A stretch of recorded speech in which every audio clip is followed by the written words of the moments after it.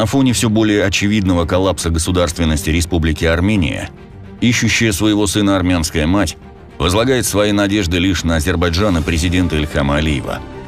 Предлагаем вашему вниманию фрагменты из эмоционального выступления женщины. А вы не думали, когда сбрасывали трактором тела азербайджанских солдат в яму, что точно так же и с вами поступят?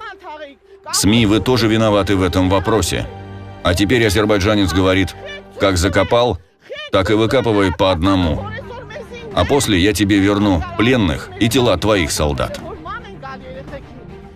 Посмотрите, как азербайджанцы последовательные и требовательные. Они заставили родителей солдат, ищущих трупы своих детей, найти этого тракториста, чтобы он раскопал это место. Вот какой должна быть страна. Я уеду и сдамся Азербайджану. Азербайджанец и меня не тронет. А вы должны снять и показать миру, как я сдаюсь Азербайджану.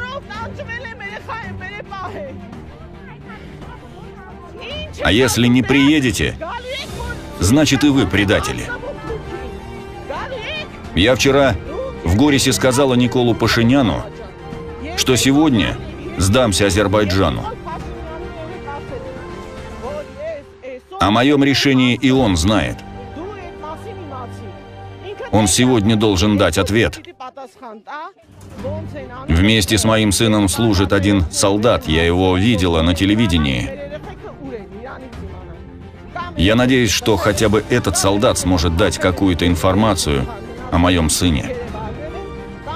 Эти бараны закрывают двери перед матерями. Они с нами не считаются.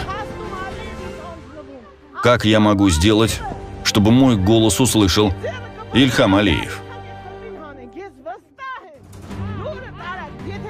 Если он услышит, то возьмет меня за руку и скажет, «Пойдем вместе, найдем твоего сына». Я в этом уверена. Если у вас есть возможность, скажите Алиеву, пусть пошлет самолет, чтобы мы поехали и нашли своих детей. Если он узнает эту новость, то обязательно поможет, будьте в этом уверены. Никто, кроме него, нам не поможет. Эти люди ничего не могут сделать. Я говорю это от имени группы матерей, потерявших своих детей. Эта группа вчера побывала в Горисе. Там нам никто ничего не сказал. Только сказали, что идите, если будут новости, мы вам скажем. Да будут прокляты и власть, и оппозиция. Слова этой армянской женщины наглядно показывают разочарование армянского народа от собственных властей. Особенно примечательно ее проклятие и в адрес властей, и оппозиции. И ведь не поспоришь.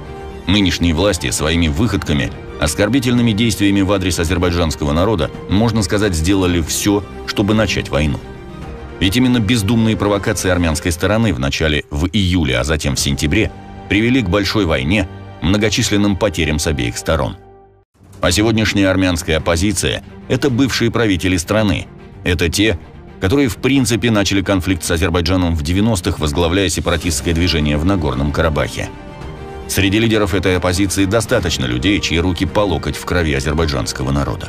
И именно лидеры этой оппозиции в свое время ехидно высказывались о событиях в Хаджалы, заявляя, что азербайджанские и армянские народы генетически несовместимы.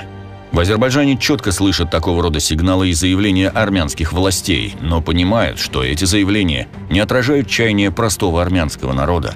К сожалению, приходится констатировать, что армянский народ стал пленником собственных властей и их необдуманных политических, экспансионистских, националистических взглядов и желаний.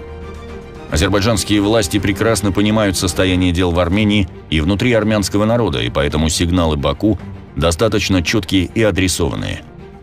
Как заявлял в ноябре президент Азербайджана Ильхам Алиев, у его страны нет проблем с армянским народом. В своих многочисленных интервью в течение этих 44 дней я говорил, что они являются нашими гражданами, и они увидят, что под руководством Азербайджана они будут жить хорошо. Они должны избавиться от криминального трусливого режима хунты, сказал президент Ильхам Алиев.